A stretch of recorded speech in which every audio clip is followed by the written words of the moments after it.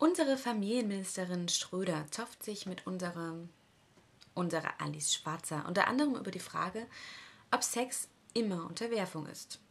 Ich muss sagen, ja. Aber ich bin bemüht, es den Partner nicht immer spüren zu lassen, denn wenn einer sich gern unterwirft, ist das auch wieder nicht so interessant.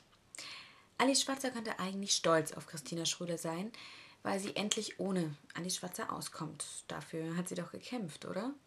Auf jeden Fall finde ich es mutig, von Alice Schwarzer sich mit Christina Schröder anzulegen. Das ist ein Generationskonflikt. Schröder ist jung und gut aussehend und klug.